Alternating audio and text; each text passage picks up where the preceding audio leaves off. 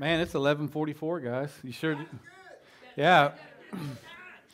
Maybe I can have a week off and not prepare and save this for next week. Anybody got something something they want to say? Listen, I, you know what? I got something I want to say, and, and I've actually put this in there, but it's not necessarily something that I need. But, and I've got a microphone, so you don't have to worry about me. But I'd, I'd like you to do a favor for me. Everybody that's that's that's here right now, um, where's Larry at? Is he back with the kids? Okay. Um, raise your hand if you, you, everybody's obviously seen what's going on in Kentucky, right, with the revival and how it's spreading to other schools now. Raise your hand if you'd like to have that happen in NBLC. Now, let, let me, let, let me just say something. That I went, in my meeting that I went to in Oklahoma City, this was the question that was asked. Um, and one of the pastors had asked his children, uh, well, it was just his, his children and his, his, wife. He had called them in, and he said, Are we prepared for revival? Now, I want you to think about something for a minute, okay? They've been worshiping God nonstop for more than a week now. They keep opening up new buildings because of the people that are flowing in. How many volunteers do you think that takes to keep that going? All of them. All of them, yeah, and anybody else that's willing to volunteer. How much do you think the electric bill is going to cost? Right? How much do you think the gas bill is going to be? How, you know, I, would be willing to bet you that there's probably donuts and things like that that's, that's being set aside that, for people to come and snack on. What do you think the donut bill is going to be? Who's willing to lay down their life in order for a revival to happen right here? Because that's exactly what you'd have to do. Everything that you have planned for this week, you'd have to put it off. You know, because you're going to be sitting right here you're going to have to help people whenever they need prayer. You're going to have to pray with them. You know, when we really start thinking about this, what it would take, what responsibility is it to host the presence of God? Are we really willing to sacrifice everything else in our life and host the presence of God right here in this building? You, you going to call into work? Look at you. Your boss would be here, so. You going to tell your, all the, your kids that play sports? Sorry. Because that's what they're doing. You see, the very things that I've been trying to motivate us to do and help us to realize it's not about our nine to fives. It's not about our children's playing sports. Don't get me wrong, I love it. My son plays basketball. But that's not what it's about. What it's about is being trustworthy enough where God says, I trust these people to host my presence. How many of us are trustworthy enough? How many of us would actually just hang out for maybe an extra 30 minutes and think, I'm awful hungry, and take off, go down the restaurant, we wouldn't see you again? I know you would be, Tina. You see, there's a cost that comes with with revival. There's a responsibility that comes with revival. And we can all raise our hands, but can God really trust us? What do you think? You going to call the library, Jason, and say, I'm sorry, man. It, they're tearing it up down here at the church, and I want more of it. Tad, you going to call your, your kids' coaches and say, man, I'm on the drums right now, guys. Sorry. We're worshiping the Lord. There are thousands of people that are showing up there, and they are setting aside everything else they had in their life because they're hosting the presence of God. How many of us are actually willing to do that? Now I could probably say, raise your hand again probably uh, be a lot less a lot less hands that go up in the air when we start thinking about what it would really take. You know, this message, I'm going to preach this next week. We're not going to worry about it, but it's about stewardship. That's what the palace test is. And as I was thinking about our, our uh, revival and, and the direction that we're going as a church, two weeks ago, we got a message from our person who takes care of our finances, and we only had $250 in the bank. You know, as a church, we can't survive if people aren't being good stewards over what God has given them. Do you know it's a privilege to come to church? It's a privilege. You know, why don't you go to China and, and ask them about why do you call your church the underground church? Because they're underground, they're trying to hide. And we're in a nation where we can freely come, but everything else is more important. And so, God has given this body to you. He, he has looked at you and He has said, You fit right here. And I want you to do your part. I want you to play your part. But the problem is, is that we're not. We're not playing our part. You know, a lot of times we have better ideas than God does. You know, I, I think this would give me more joy. You know, one of the one of my um, I heard this this Baptist preacher one time. He was preaching a message, and he said uh, um, he was talking about the once saved, always saved, versus being able to fall away, right? And I'm not going to get into that garbage because that's just you know that's uh, I don't even like that argument. But I liked what the man said. He said, you know, when I was younger, we would go on long vacations. And when we were on those vacations, uh, my dad would be the one driving. And as he was driving, I'd see things that I think would bring me greater joy than what the end result would be. And he said a lot of times we'd be going to Disneyland or they'd be going to, you know, just different places. And he'd see it and he'd say, Dad, Dad, Dad, can you pull over? Can you pull over? Uh, and my dad, he had one thing in mind Disneyland. Nope, son, we're not stopping, we're not stopping, we're not stopping. You see, because the fact of the matter is, is that wherever it is he wanted to stop along the way, it would not have brought him more joy than Disneyland.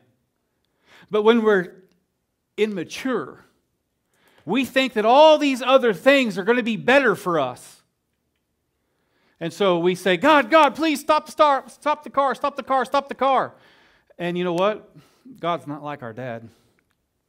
He stops the car and he lets us get out. You wonder why you go through the things you go through, it's because you keep asking God to stop the car and you're not looking forward to the destination that He set before you. Because where He's, go, where he's taking you is greater joy than wherever it is that you want to stop along the way. I promise you that. And I, I, I, swear to you it is. There is nothing outside these walls that's going to be, bring you greater joy than serving God. Plain and simple. And so here we are as a church, and we want to reach the community, like what Tammy was saying. As she said that, it's like that's been on my heart. I do want to reach the community. I want to reach it in mighty ways. But thank God that we didn't. We had the Super Bowl, and we didn't have Friday night class, or I'm sorry, Sunday night class, because we would have had to pay him, and the money wouldn't have, would, would have hardly been there. We had 250 bucks in the bank account. We have got to learn to be stewards over everything that God gives us in our life. And He has given you this body. Do you really want to reach the community? Do you want your life changed? And if you get your life changed, what about somebody else? Because that's really what the gospel is about. It's not about you. Everything that you see when you go through Scripture, it never says anything about, well, I mean, it says lift you up, but it's so that you can lift, lift others up. God wants to restore you, not for you, for the rest of the people around you. He, he, he wants to restore Tina, but it's not just because of Tina. It's because he wants to restore Callie, and he wants to restore Stephen, and he wants to restore everybody else that she comes in contact with. And the same thing goes for you. It's not about you. And so, if you really believe that God is moving in your life, then help us here. Help us here. You know, the, the fact of the matter is, is that sometimes I don't think that we really believe that God blesses our serving. And I can tell the people, and I, look, listen, I say this with as much grace as I possibly can because nothing that comes out of God pushes you away. You push yourself away from God. You draw yourself away from God because God is constantly speaking things to you to try and draw you in. And sometimes we don't like to hear what he's saying, though, and that's the problem. Whenever we don't like to hear what he's saying, like what she said, she wasn't listening. She listened then, and now it's going to change her life. When we begin to actually listen to what God is saying to us, he draws us in. And so I don't say this right here with condemnation. I don't want to bring any guilt on anybody. But I'm telling you right now, I'm going to let you in a little secret. We can see who really believes God will bless serving. Because those who come in early to help set up, those who stay late to tear down, those who help serve in the kitchen, that help stay, they stay late, they clean up the kitchen. You know, there's all of these different things that we do here. And I don't really, I mean, even right now, the number of people we're here, there's never been a time when we have our church cleanup. And you can always tell the people who really don't want to get sucked into it because when they do get sucked into it, they're the first one to make the excuse and run out the door. Oh, I, I pick, picked up a chair. Man, ooh, look at the time. We've got an appointment. I better get out of here. You can see it. You can see you don't want to serve. And you don't want to serve because you don't believe God blesses it. You want revival to break out in this church? Start serving. Because I'm telling you right now, we couldn't handle it. The only people that would be here sticking praising the Lord would probably be about five or six people, and that's it. And I'm sorry, five or six people don't make a revival. Just being honest. We saw all these hands go up about wanting revival. It takes sacrifice. It really does. And, you know, my first thoughts are I'd like to shut this thing down and just run out to Kentucky. You know? Because obviously they're, the Lord trusts them with their presence. I want to get to a place where New, New Beginnings Life Church can be trusted with the presence of God. But it won't happen without each and every one of you all. Another thing that they, they talked about was at this meeting what does revival look like to you? And uh, there was several, several thoughts and good thoughts. And uh, I, I kind of had to go back to a, a, point in my life. And uh, a lot of you guys don't know this, but I used to struggle with pornography.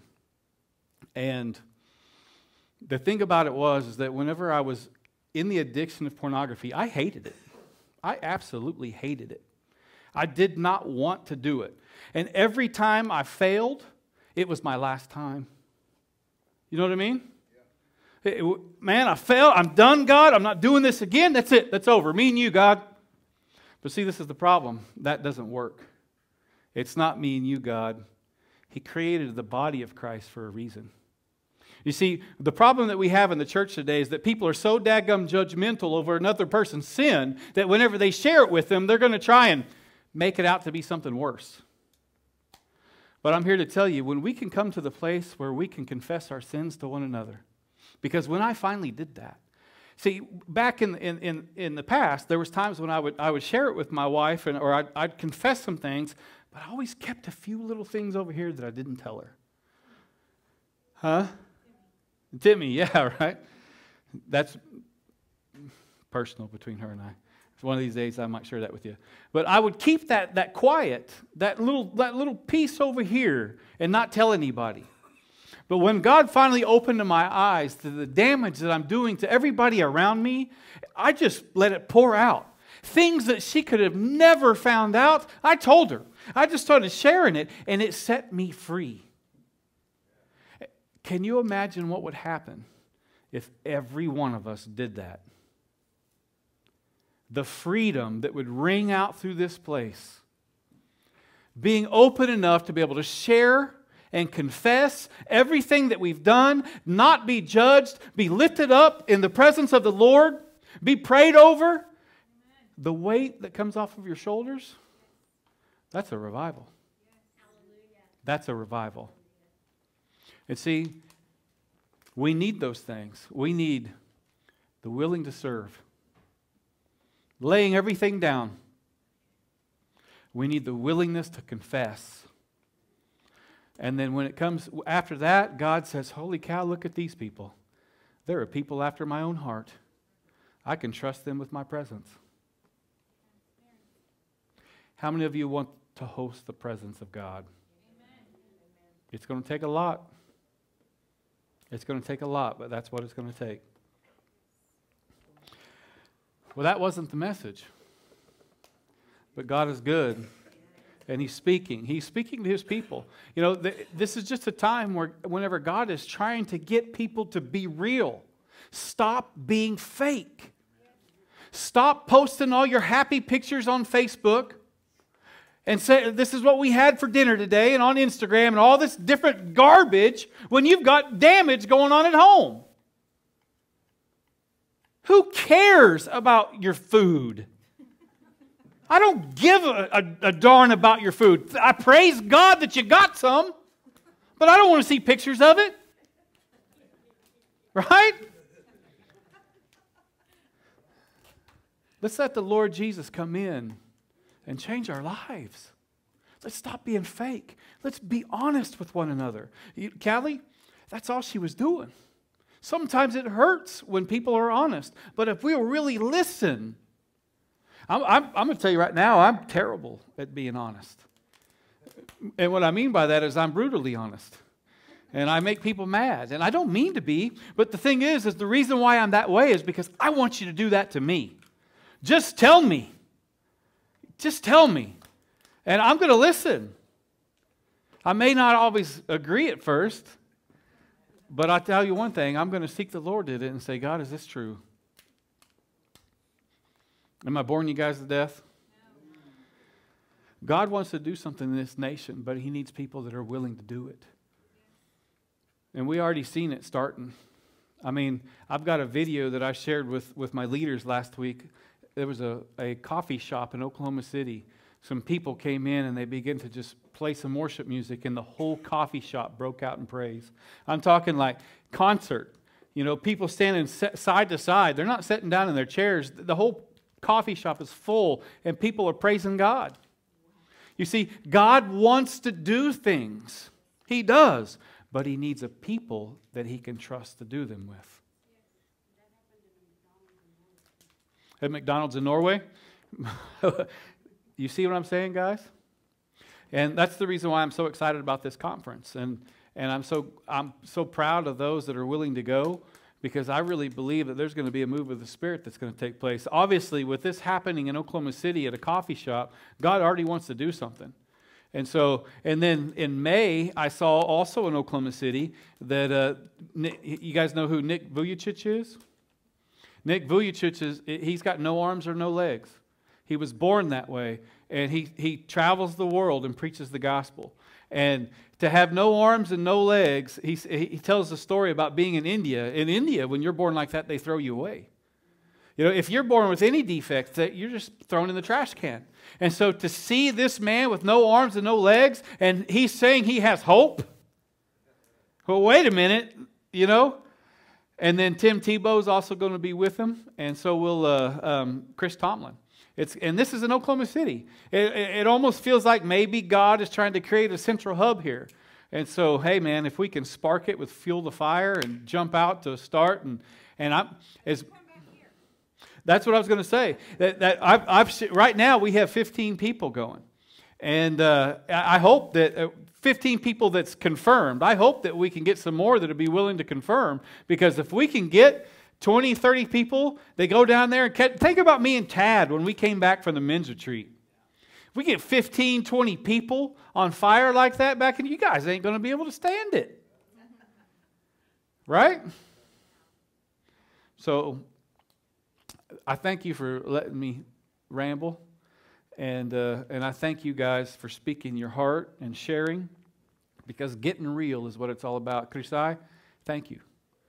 Thank you so much. We love you more than you could possibly imagine, and there is nothing that you could do or say to us that would stop that.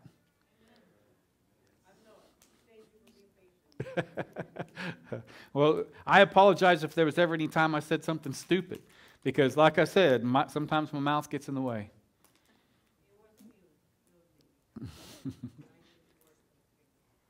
God is good, isn't He? God is good. we'll, we'll, we'll keep praying. I'll pray that He'll give you more grace.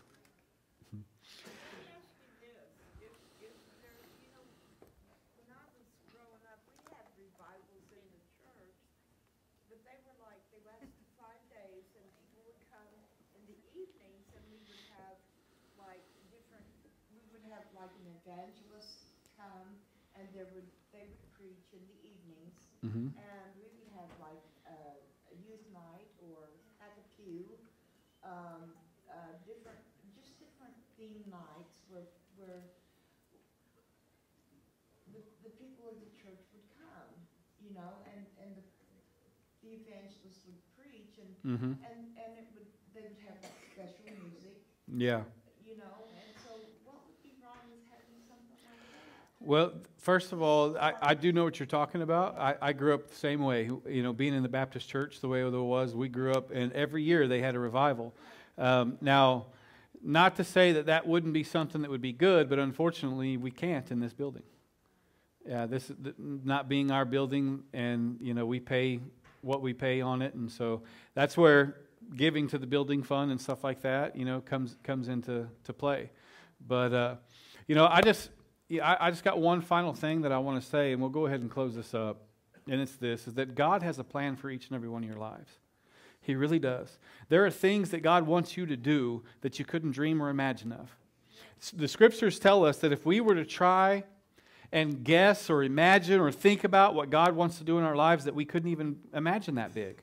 But we, this is a speech that I've been given the last couple of weeks, and I'm going to give it again. We have become so focused on our nine to fives that we walk, we walk the circles. That's it. And I'm so sick of seeing people walk circles. I want to see us climb the mountain, not walk around the mountain, which is exactly what the Israelites did. God has a plan for your life. It's going to be huge. I'm telling you right now, every single one of us, He wants to do big things through, but we got to let Him. If we're not willing to let Him, it ain't going to happen. Yeah, I, I, will close with this story that I've shared many, many times. There was a pack of ducks dressed up all nice, and they waddled into the church building, and they sat down into the pews, and and the, the, the, the pre- preacher duck, he stands up and he says, Listen, guys, I just want to preach this message to you. You, you got wings. You were born to fly. You know, the, the, scriptures talk about flying on wings like eagles. You've got wings to fly. And they said, Amen, Pastor. Amen, Pastor. Amen, Pastor. And then when the service is over, they all waddled back home. You see, that's really what the American church has been about. Lots of shouting and pra- praising God that God's going to do mighty things. And then we just go waddling back home. Let's not waddle back home. God's got plans for us. Seek Him. Get in your Bible. Find out what those plans are because I promise you they're huge. They're huge. Let's pray. Father, I just want to thank you, Lord, that, that you had different plans today. Father, you speak to us. Lord, what I ask is that when you desire to speak to us, that we would listen. Father, I pray that as I put together messages like this, that, that my mind and my heart would not be tied to the message, but we would be tied to whatever it is that you have to say to us. Father, I thank you for each and every person here that had a testimony to share, that had a desire to, to speak something that's been put into your heart, that had the courage to ask for prayer. Father, you're moving amongst your people. You are. But we have to be sensitive to being able to hear whatever it is that you want to do. Father, we love you. And I just declare right now a sensitivity over each and every person that's here today, a sensitivity to be able to hear the Spirit of God speaking to us and drawing us closer to you. We've got some rough edges that need to be smoothed out, Lord. Open our eyes to those rough edges. Father, there's a sacrifice that you're desiring from us. You can't trust us with your presence if we're not willing to sacrifice. Father, draw us to that place. Draw us to the place of sacrifice. Father, you've given us things, privileges, to be able to come to your house and to worship. Father, put it in our hearts to take care of the things that you've given us. I know, Lord God, that, that the number of people that are committed to this body, that we could take care of everything if we would honor you with everything in our life. Honor you with our finances, honor you with, with our serving, honor you with, with our learning, honor you with, with everything that we have. We could completely and totally take care of everything that we need here and be able to go out and reach others. Lord, help us to turn the focus from ourselves and what we need and what we want, turning it out to others. Help us to believe, Lord God, that that's really where success comes from. Real, true, lasting success comes whenever we're willing to lay our life down for you. Father, create that in us. Father, we love you and we thank you. We pray this in Jesus' mighty name. Amen.